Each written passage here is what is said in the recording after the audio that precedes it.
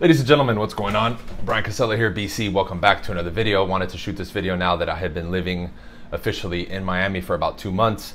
I wanted to report back and give everybody insight on what it's actually like. Some people still haven't seen my video about moving and maybe you've been wondering uh, why my location has changed. I just wanted to give some basic insight on the move. For those of you who don't know or who may be just finding out, I moved from Los Angeles, California to Miami, Florida, and I up and left, right?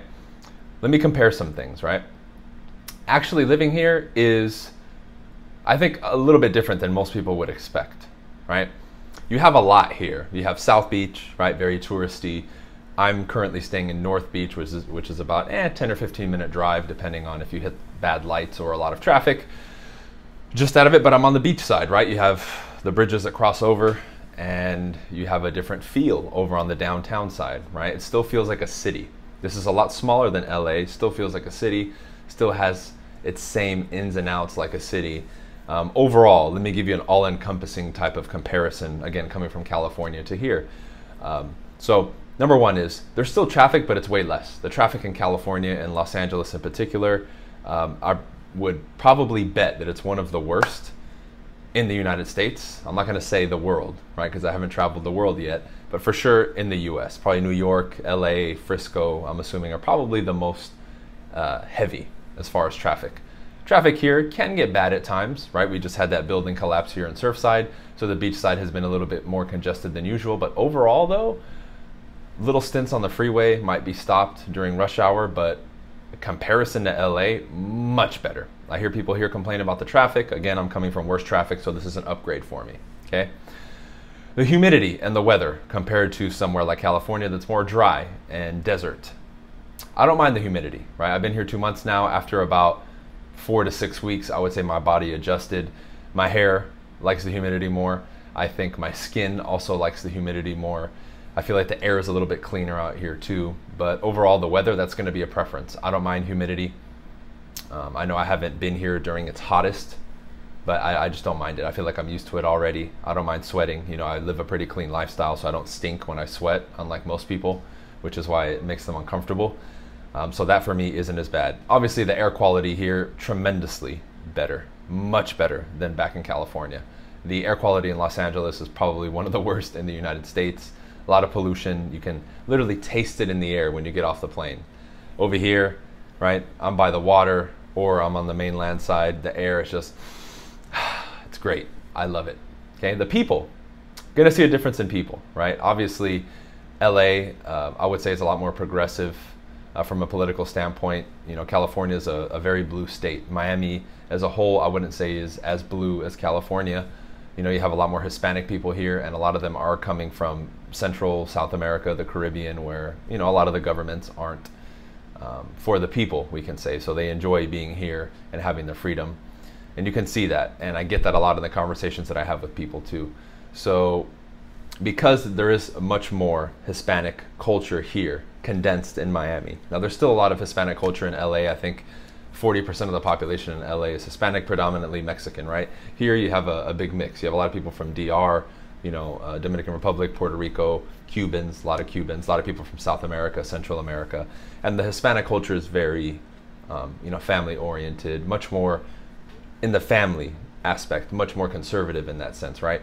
And they welcome you here with open arms. Everybody here that approaches me speaks to me in Spanish. It's pretty cool.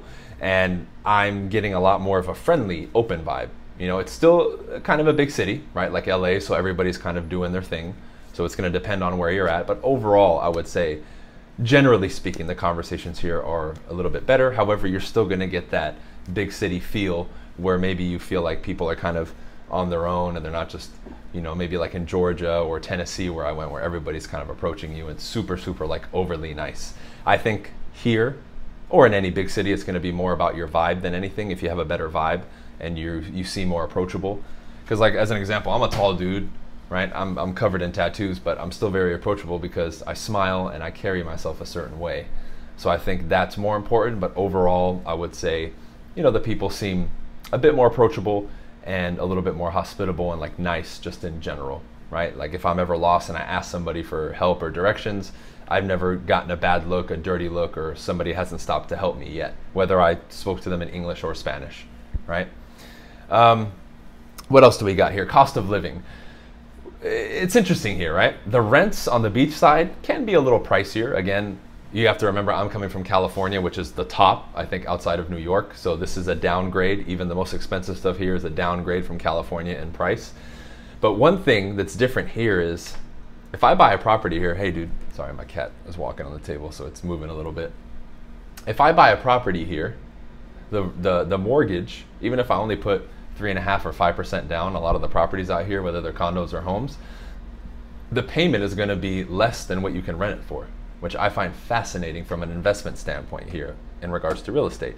California, good luck right? California has high rents too, but the prices are so much higher that if you buy a house, even if you put 20% down, but you're paying a higher price. So, case in point, I buy a $350,000 property here in Miami, a condo, let's say, and I put 5% down, that's 17,500.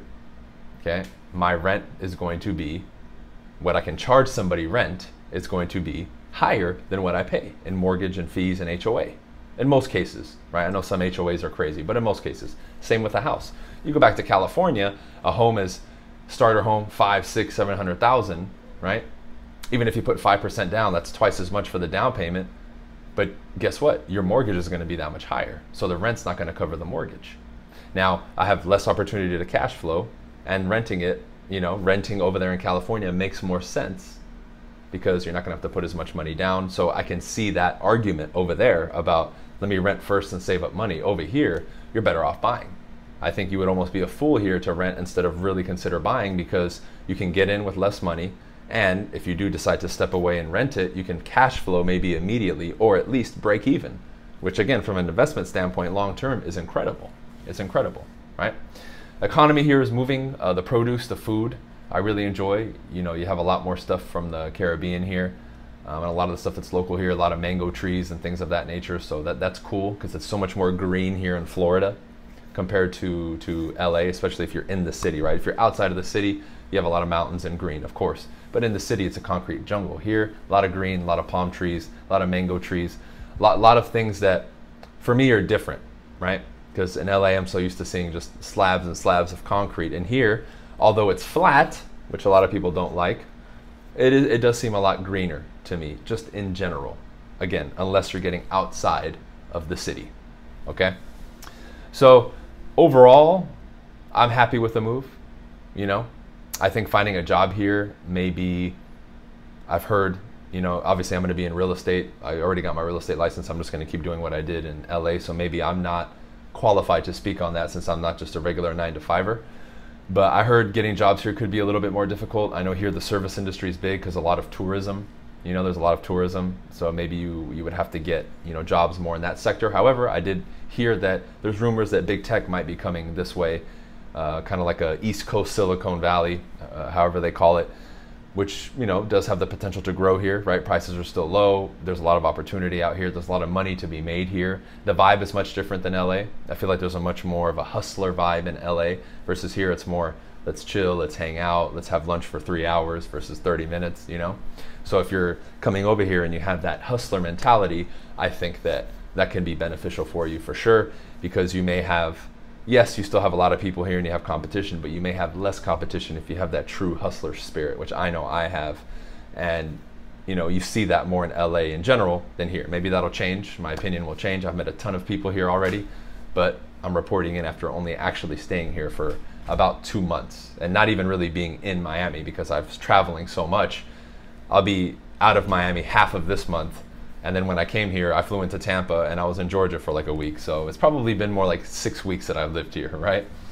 But overall, uh, thumbs up. Comparing it to California, I would say has a lot more positives than negatives. Negatives, I guess you can say when it randomly rains, you know, and it can flood. I, again, I don't mind the rain because it's still hot and warm when it rains. So back home in LA, whenever it rains, it's normally super cold or it brings in a cold front, right? Um, other than that, you can say maybe a little bit of the traffic, people honking their horns. You know, it still kind of has that LA vibe in regards to the motorists.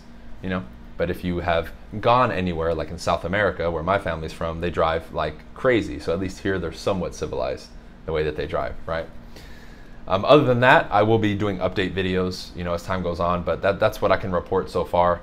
Again, you know, I was leaving California with a you know bad taste in my mouth, so it's easy for me to look at Florida or anywhere else and say it's much better. I may be biased. If you prefer dry weather, right, and maybe not that sporadic type of tropical storm rain, maybe LA or California is better for you.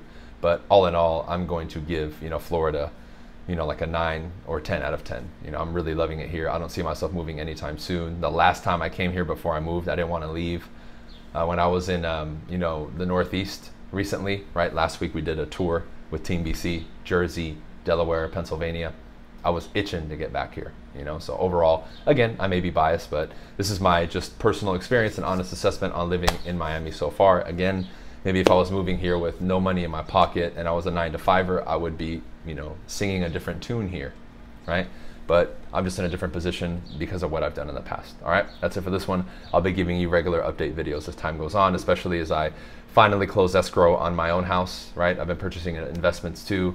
Once I do that, I'm gonna buy another car and then I'm also gonna open up an office here and start recruiting for Team BC. All right, that's it for this one, guys. Peace.